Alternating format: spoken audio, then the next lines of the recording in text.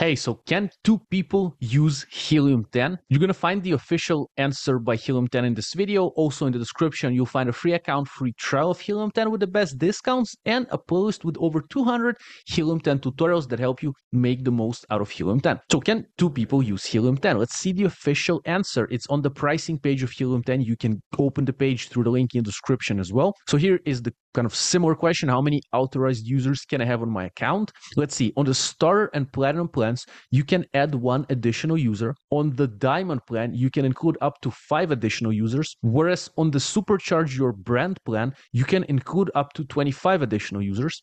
Additional users are available to be purchased as an add-on to any subscription. So basically, yes, two people can use Helium 10. You can add someone and give them specific permissions inside Helium 10. We can also go to the uh, pricing page here of Helium 10. Of course, you have the best discounts as well in the description. Here on the screen, you have one coupon code VOVA10, 10% off for all the plans every month forever, or VOVA6M20.